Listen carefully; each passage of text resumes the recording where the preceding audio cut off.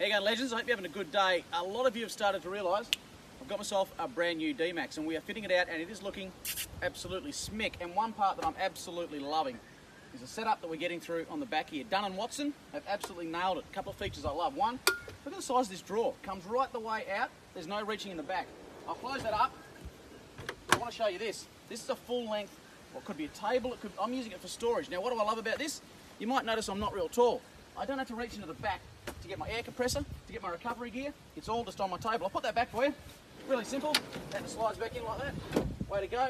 Got 40 litres of water right here, so no longer do I have to worry about staying stinky in the bush. I've got a shower there, and of course, fridge up the top. Dunn & Watson, absolutely nailed it. New D-Max, looking perfect.